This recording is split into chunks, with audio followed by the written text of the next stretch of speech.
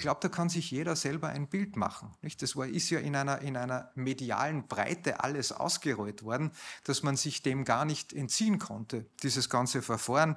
Äh, und da kann sich, glaube ich, jeder selbst ein Bild machen über den Prozess und über das Urteil und über den Umgang des Betroffenen damit und über die Reaktionen der ÖVP. Da braucht es jetzt nicht meinen Ratschlag dazu.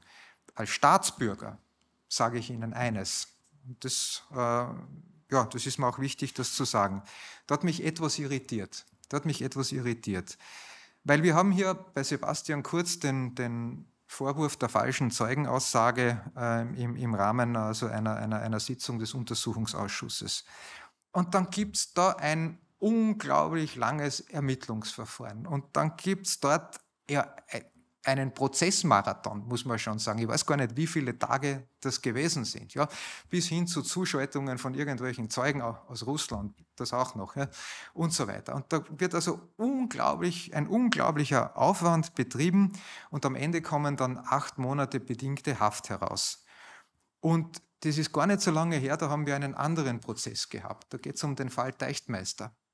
Und da ist jemand vor Gericht gestanden, dem man vorgeworfen hat, zigtausende kinderpornografische Darstellungen als Fotos oder Videos auf seinen Kommunikationsgeräten zu haben. Und dann schauen Sie sich einmal an, wie dieser Prozess dort ausgesehen hat.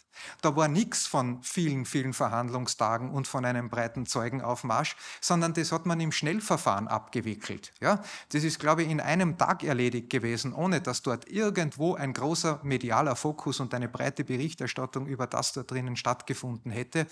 Und ich denke, da haben wir es mit dem Mord an Kinderseelen zu tun bei diesem, bei diesem Fall.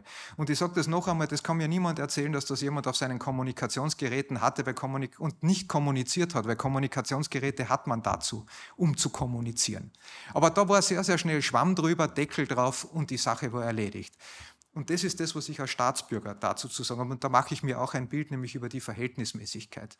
Und ich frage mich schon, weil der hat dann am Ende, am Ende äh, zwei Jahre, glaube ich, bedingte Haft bekommen, auch keinen einzigen Tag, den er hinter Gitter verbringen muss.